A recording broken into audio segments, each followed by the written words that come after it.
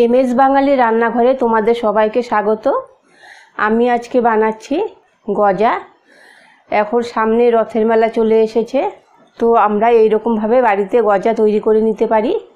চলো, চটপট দেখে নেওয়া যাক। গজা বানানোর জন্য আমি প্রথমেই নিয়ে নিচ্ছি এক কাপ ময়দা, হাফ চামচেরও কম লবণ হাফ চামচের থেকেও কম বেকিং সোডা। এবার ঘি দিয়ে দিচ্ছি। দু চা চামচ ঘি দিয়ে দিলাম। এবার ভালো করে ঘি দিয়ে মেখে নিতে হবে।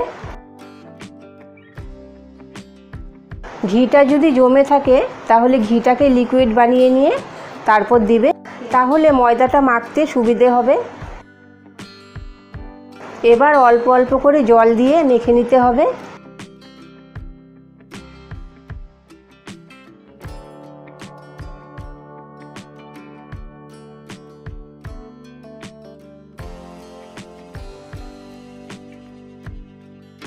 ময়দাটাকে ভালো করে মেখে নেওয়া হয়ে গেছে। পনেরো মিনিটের জন্য ঢেকে রেখে দিচ্ছি। এবার শিরা বানানোর জন্য দিয়ে দিচ্ছি এক কাপ চিনি।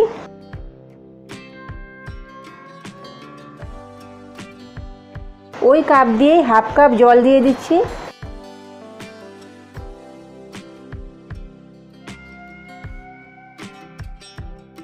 চিনিটা গলে গিয়ে একটু চটচটে হলেই হয়ে যাবে।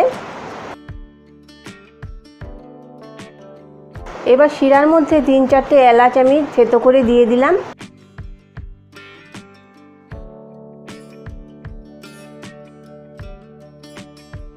শিরাটা এইরকমভাবে দেখবে। একটু চটচটে হলেই নামিয়ে নিতে হবে। শিরাটা হয়ে গেছে, এবার শিরাটাকে নামিয়ে রাখছি। ঢাকনাটা খুলে নিলাম পনেরো মিনিট পর। আবারও একটু ভালো করে মেখে তারপর বানিয়ে নিতে হবে।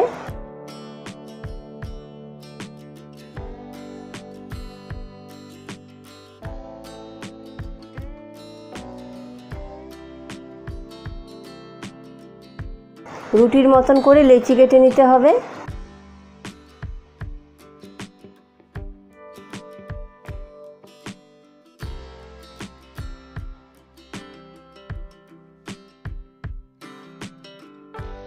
এবার বেলে নিচ্ছি।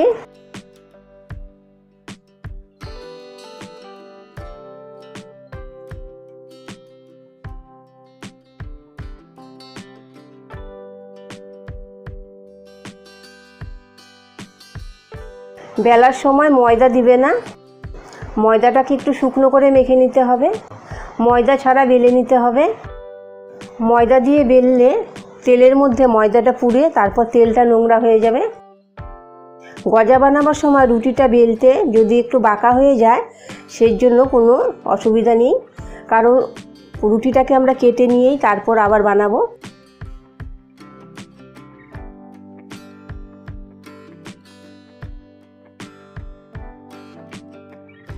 আবারও এটাকে হালকা করে বেলে নিতে হবে।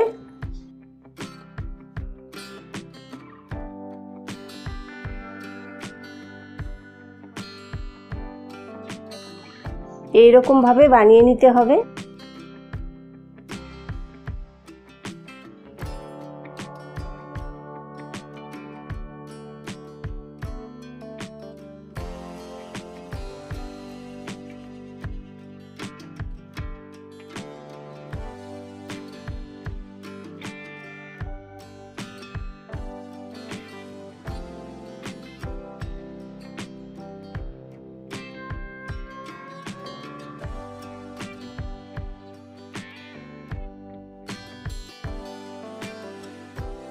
এটা তোমাদের ইচ্ছে মতন যেরকম খুশি সেরকম করেই বানিয়ে নিতে পারো। আমি দু রকম করে বানিয়ে নিয়েছি। এটা একটু ছোট ছোট করে, মোটা মোটা করে বানিয়ে নিয়েছি। আর এটা একটু পাতলা করে বানিয়েছি।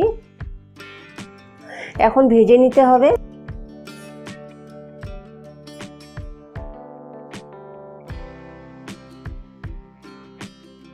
কড়াইতে তেল দিয়ে দিলাম। তেলটাকে হালকা গরম করে নিতে হবে। খুব বেশি গরম করে নেওয়া যাবে না। এবার তেলের মধ্যে একটা একটা করে দিয়ে দিচ্ছি।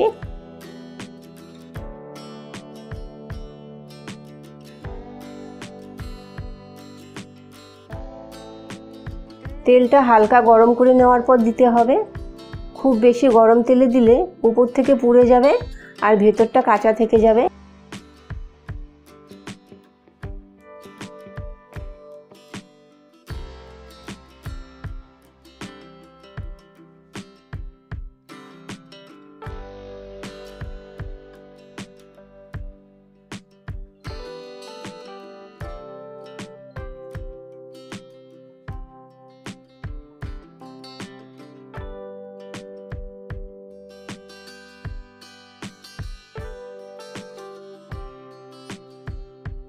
হয়ে গেছে, এবার এগুলিকে তেল থেকে তুলে নিচ্ছি। ভালো করে তেলটা ঝরিয়ে নিতে হবে। এবার বাকিগুলোকেও আমি এইরকমভাবে ভেজে নিচ্ছি। বাকিগুলোকে দেওয়ার সময় গ্যাসটা কিন্তু একেবারে লোতে করে দিতে হবে, কারণ তেলটা এখন খুব গরম। গ্যাসটাকে একেবারে লোতে রেখে তারপর ভাজতে হবে। এবার শিরার ঢাকনাটাকে খুলে নিলাম। তেলের থেকে উঠিয়ে সরাসরি আমি শিরার মধ্যে দিয়ে দিলাম।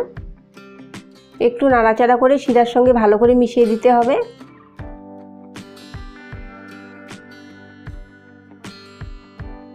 বাকিগুলো ভেজে নেওয়া হয়ে গেছে, তেল থেকে তুলে নিব।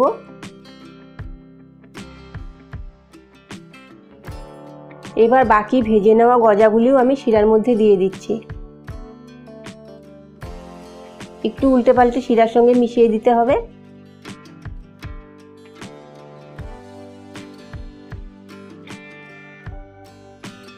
পাঁচ মিনিট শিরার মধ্যে রেখে দেব। শিরার মধ্যে ঢেকে রাখছি। পাঁচ মিনিট পর শিরা থেকে তুলে নেব। গজা বানিয়ে নেওয়া হয়ে গেছে। তোমরাও এইরকমভাবে বাড়িতে বানিয়ে ফেলো। সামনে যেহেতু রথের মেলা, বাচ্চাদের এইরকমভাবে বাড়িতে বানিয়ে দিতে পারো, বাচ্চারা খুব খুশি হয়ে যাবে। আর আমার রেসিপি যদি ভালো লেগে থাকে, তাহলে লাইক কমেন্ট শেয়ার করো। আর আমার চ্যানেলটিকে সাবস্ক্রাইব করো। তাহলে পরের রেসিপিগুলি খুব সহজেই পেয়ে যাবে।